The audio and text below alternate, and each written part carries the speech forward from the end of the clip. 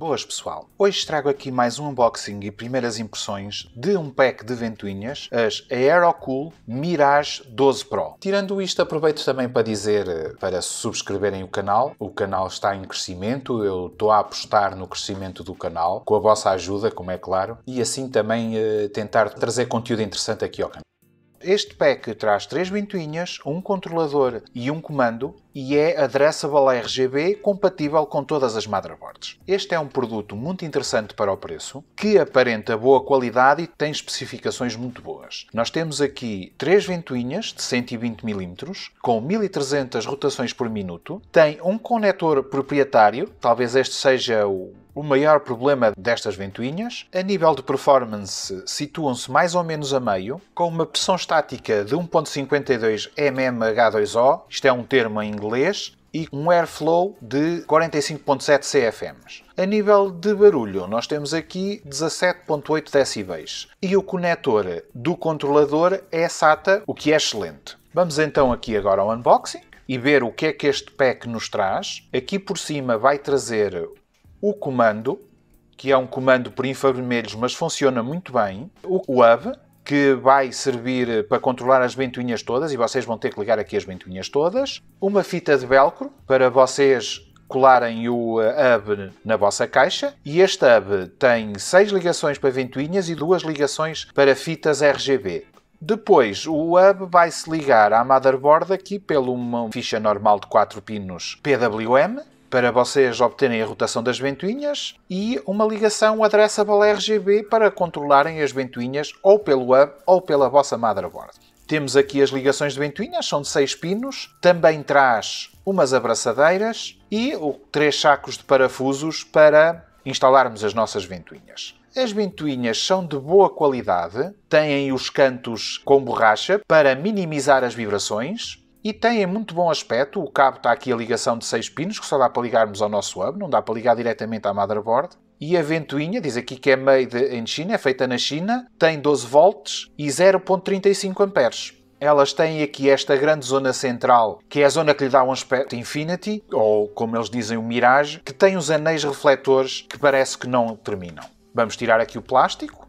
Aqui temos é uma zona espelhada que vai simular o efeito Mirage que eles falam aqui. O comando é é pequeno, os botões têm pouco feedback tátil, mas também já é o normal neste tipo de comandos, que são muito finos, e dá para controlarem tanto as cores, como a velocidade a que muda de cor, como também a velocidade das ventoinhas. E temos aqui vários modos que, em que permite controlarmos tudo manual, por PWM ou a ou pela motherboard. O controlador tem aqui a ligação SATA, em vez de Molex, que já há muito tempo que este tipo de controladores deviam ter trocado para SATA, mas ainda há alguns que são Molex. Este terá uma vantagem. E temos aqui outra vez as ligações para ligarem à vossa motherboard e cobre todas as marcas das motherboards, por isso estamos aqui muito bem servidos com este controlador. Vamos então aqui fazer a instalação. Isto é uma instalação simples. Tiramos aqui a, a película para colarmos ao nosso hub ou controlador e depois fixamos o hub na nossa caixa.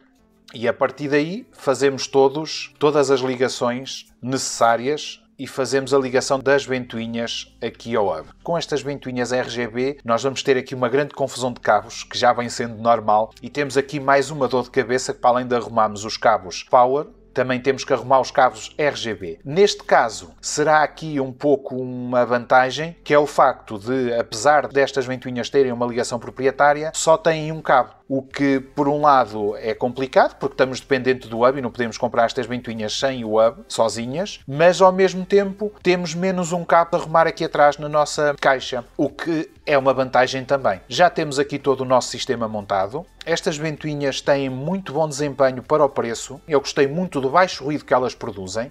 E em relação à luminosidade, elas são uh, muito bonitas e bem luminosas. Têm aqui várias zonas de iluminação, com uma zona central e os arcos à volta, que dão um certo toque às ventoinhas muito bom. E no meio tem então o tal efeito mirage, que parece que a iluminação vai para dentro da ventoinha, o que também lhe dá um ar muito bom. Em relação à performance, eu utilizei aqui um sistema um pouco arcaico, foi colocar um filtro à frente das ventoinhas para ver qual era a deslocação de ar que elas provocavam, o que é excelente, é uma deslocação de ar muito boa. E depois, posteriormente, comparei também, para vocês terem uma ideia, com as minhas outras ventoinhas, que são bem mais caras, que são as Corsair LL120, que também têm iluminação muito boa e o fluxo de ar também é razoável, mas eu sinceramente nem sei qual das duas é que é melhor. Elas são muito parecidas, com a vantagem de estas Aerocool custarem metade do preço, o que é muito, muito bom. A única coisa que eu não gostei nestas ventoinhas foram os parafusos. Eles são de fraca qualidade e custam muito a apertar. Eu utilizei os parafusos que já tinha nesta caixa por causa dessa situação. Não sei se seria um uh, problema desta unidade em questão ou se é um problema de todas as unidades, todas as ventoinhas, mas deixo só esta